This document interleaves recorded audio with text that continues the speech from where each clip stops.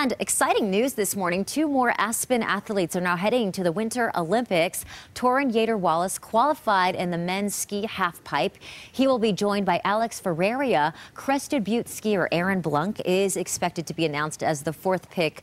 Both Blunck and Yater Wallace competed in the 2014 Olympics in Sochi. Joanne Reed, who was an NCAA champion cross country skier at CU Boulder, was selected for the USA biathlon team. The Winter Olympics kicks off February 9th in South Korea.